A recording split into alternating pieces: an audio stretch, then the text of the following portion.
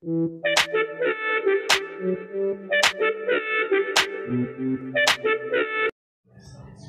mga kawailak, good morning sa lahat ng tagapagpanood. Ah, ito mga dito ako sa bahay ng kapatid ko. Ah, dito. Ito lang sa likod ng bahay namin. Ito yung bahay namin dito. Ah, dito ko sa may ano, ang gulo dito kasi daming mga mga labahan dito. Ito yung mga do- mga aso ko dito. Marami ko dito mga aso dito. Hmm. Ito si Nani. Yung pinaka pinaka paborito kong paborito kong aso. Oo, yung mga kawailak kasi ano lang. Ah, ito may ito si Nani.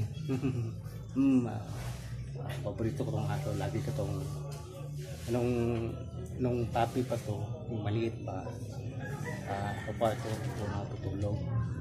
Katabi kami matutulog. Kaya ito, mm, yung ng gabi. Mm.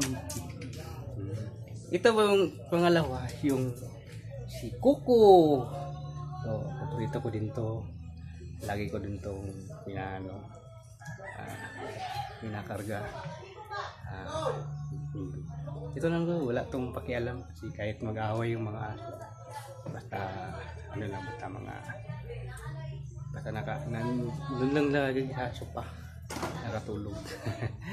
Actually, ito yung pangatlo, yung si Pitches. Oh, okay din to. Hmm, wiwi ko din to. Oh, pero ito yung pinaka-favorite ko talaga. Si Nani. Ano to. Mga lab. So, tatlo sila lab. Ah, sige guys. Ah, ano tayo? Ang gulo-gulo ang atod ko. Hmm, baby.